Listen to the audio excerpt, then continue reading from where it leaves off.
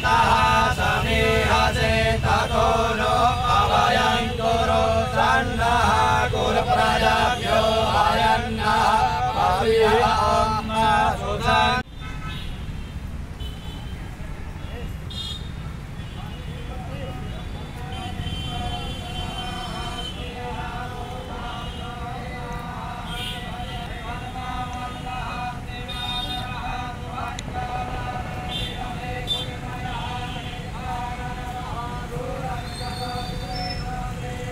किया गया है और किस तरह से आप लोगों ने मंत्रोच्चार के बाद उनको ध्वजा देखिए, भरद्वाज मुनि ने प्रयागराज बसाया था और यहाँ पर उन्होंने विश्व के सबसे बड़े गुरुकुल की स्थापना की थी और प्रयागराज, क्योंकि धर्म और संस्कृति, संस्कार की नगरी है तो इसलिए महर्षि भारद्वाज जी को जो है यह मूर्ति बनाई गई। बहुत ही अच्छा काम प्रशासन ने किया।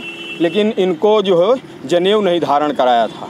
तो आज हम लोगों ने सब अपने साथियों के साथ मिल करके इनको जनेऊ धारण कराया, क्योंकि प्रतीकात्मक रूप से धर्म, संस्कृत और सदाचार में जो है, संस्कार में हमारे हिंदू धर्म में जो है जनेऊ धारण करने का यज्ञोपवीत के बाद धारण करने का जो है, एक चलन है।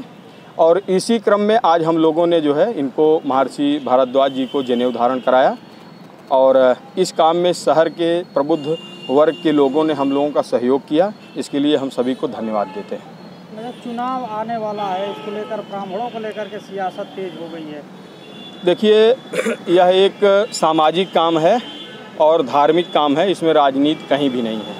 सदा बरियारा तिनके कोप न को रखवारा जिन तपसीन बस कर नरेसा तव तु बस विधि विष्णु महेशा। यज्ञोपवीत संस्कार, सनातन धर्म का पहला संस्कार होता है। शासन के द्वारा, प्रशासन के द्वारा भगवान भरद्वाज ऋषि की स्थापना यहाँ की गई। और ये बहुत ही अच्छी बात है, परंतु यहाँ हमारे भरद्वाज ऋषि की यज्ञोपवीत संस्कार की नहीं किया गया और जनेऊ धारण नहीं कराया गया।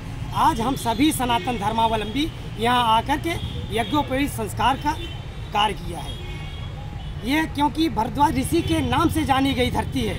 भगवान परशुराम और भग, ये भरद्वाज ऋषि के द्वारा ये प्रयाग की पावन धरती जानी गई। यहाँ भगवान राम ने स्वयं आकर के भरद्वाज ऋषि से आशीर्वाद लिया। तो हम लोग ऐसे कार्य को कैसे भुला सकते हैं? इसलिए हम लोगों ने आज ये यज्ञोपवीत संस्कार